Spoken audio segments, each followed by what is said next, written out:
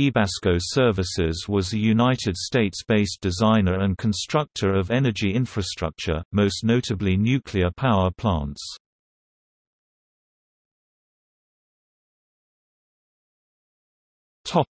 History The company was formed from the Electric Bond and Share Company, a holding company that sold securities of electric utilities. It was created by General Electric in 1905.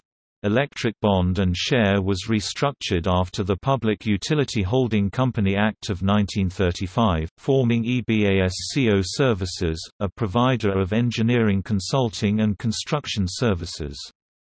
Among other projects EBASCO designed nuclear power plants. By the 1980s, EBASCO had three divisions, EBASCO Engineering, which provided engineering design and A.E. services, EBASCO Environmental, which provided environmental engineering and science services, and EBASCO Constructors, which provided construction and construction management. Ebasco (EBS) was included in Dow Jones Utility Average from 1938 to 1947. Ebasco Services was one of major U.S. architect engineers, coordinated design of many nuclear power plants both in the USA and abroad including the Fukushima Daiichi Nuclear Power Plant Units 1, 2 and 6. EBASCO Engineering and Constructors were sold to Raytheon in 1993 and became part of a Raytheon Raytheon subsidiary, United Engineers and Constructors. EBASCO Environmental was sold to Foster Wheeler, Inc., becoming Foster Wheeler Environmental.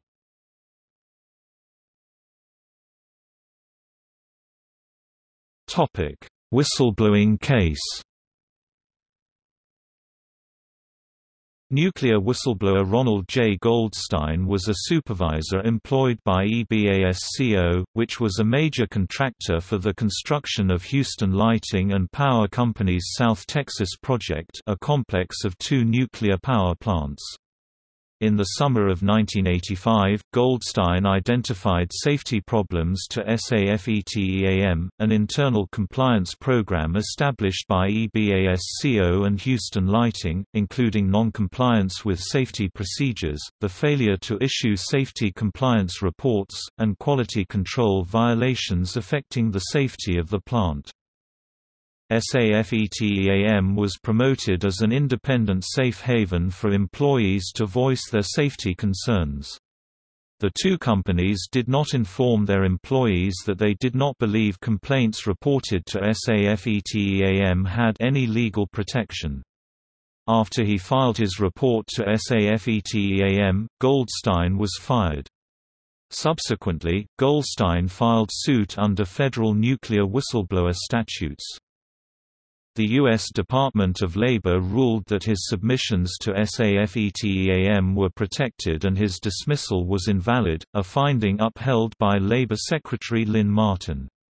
The ruling was appealed and overturned by the Fifth Circuit Court of Appeals, which ruled that private programs offered no protection to whistleblowers.